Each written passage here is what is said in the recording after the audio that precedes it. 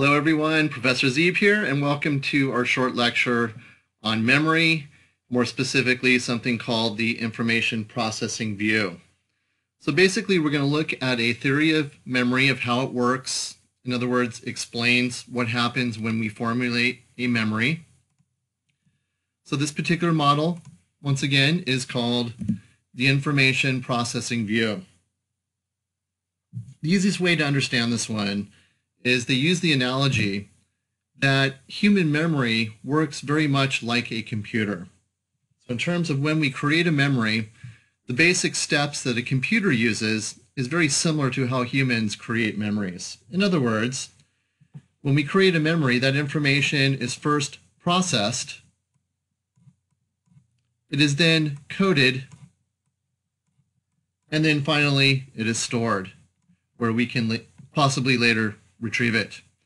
So very similar to, for example, typing a document in Word, that information would be processed, it would show up on the screen, you hit save, it goes to your hard drive. So in other words, the basic steps are essentially the same. Okay, so let's visually take a look at this model. So it looks something like this. So in other words, whenever we form a new memory, that new information is going to enter into our system through our senses. It would then go to something called the short-term memory. Short-term memory for our uh, fellow computer geeks out there is very similar to your RAM on your computer, which would be, of course, random access memory. In other words, it's referring to a temporary storage of information. That information then potentially will go to something called the long-term memory, which is kind of like the hard drive on your computer, where it is permanent and can be accessed at a later time. So we're going to take a look at some of these components in the model. And we're going to sort of compare and contrast short-term and long-term. We'll start with short-term.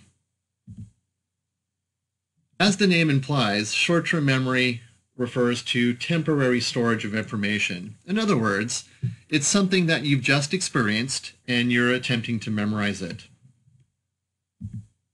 Long term, on the other hand, is permanent. So these are memories that, of course, can be recovered, but seem to last a lifetime. So in other words, what we're saying is that short-term memory is very short-lived, where long-term memory essentially could last your entire lifetime. A very important aspect of memory is this next one, and we call it retrieval cues. And basically what this means they are associated cues that help you remember things. So it turns out that these are very important to explaining how memory works. They are like little memory triggers, and they often draw up memories. So for example, if you've ever been listening to the radio or uh, some kind of music device, and you found that when you hear the song you haven't heard in a long time, and it, you start remembering things surrounding when you first heard that song, that song is now a retrieval cue. In other words, it triggers those memories of what you experienced when you first heard that song. So we, we basically have discovered that memory works through these associated cues, and we often use these to access information. So to me, the big point here is that when you're studying, you should be forming retrieval cues because that is your avenue to get at those memories when you're taking a test, for example. Okay, some Retrieval cues are very important to how memory works. Next, we go to vulnerability to decay in terms of how resistant are they to decay. Decay being a natural process that breaks down memories. In fact, scientists have discovered a protein in the brain that seems to weaken or destroy short-term memory. So we call this process decay, where the memory naturally withers and decays, if you will, or weakens. So we're going to look at an example, a study that sort of demonstrates this. This comes from Peterson and Peterson way back 1959 for this one. In this particular experiment, they gave the subjects a random sequence of letters and asked them to memorize them. So in other words, they were testing their short-term memory. They would test their memory after several delays. So for example, they would present the information, and then wait a few seconds and then would test them to see if they could recall it. They noticed when they were doing this, however, is that the students, or the subjects in this case, being very clever, were rehearsing the information in between the trials. In other words, the information would be presented, they would then rehearse it and try to remember it, and then when they were tested, they did pretty good. So to prevent that from happening, which may present a form of bias, they would ask them to count backwards from a random number in between the trials to sort of distract them. The point is we're trying to ascertain, or they were trying to ascertain, how long does short-term memory actually last?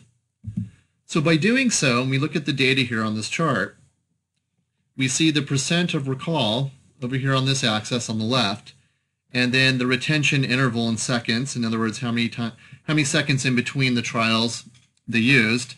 They found that, you know, for example, if it was about three seconds after they were presented with the information, these subjects showed about an 80% recall. In other words, they recalled most of the information. However, if we go up to about 18 seconds, they found that only around 10% of the students could, could accurately recall the letters. So it seems that if we're not enabled to rehearse information or to think about it, in other words, we're distracted, our short-term memory probably doesn't last more than 20 seconds. So basically, the study shows that short-term, as the name implies, is very short-lived, where long-term memories, on the other hand, could last an entire lifetime. It's a big difference between the two.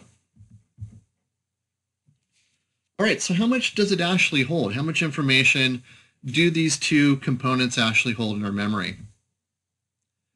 With long-term, if you think about it, this is almost impossible to ascertain precisely how would you even figure out how many memories someone could have? I mean, it would be very difficult and time consuming to figure that out.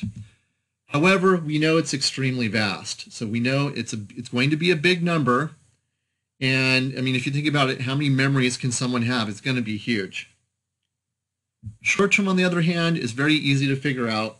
We can present information to the subject and then test how many bits of this information they can recall. So we know it is very small compared to long term. In other words, it's pretty limited. And we've discovered it's about 7 plus or minus 2. In other words, the average human can remember about 5 to 9 things after one viewing. This is probably why phone numbers are so perfect because they're, you know, most of them are in that range. However, if you ever add in a weird area code you've never seen before, now we're pressing the limits of that of the range and it becomes more difficult for the person.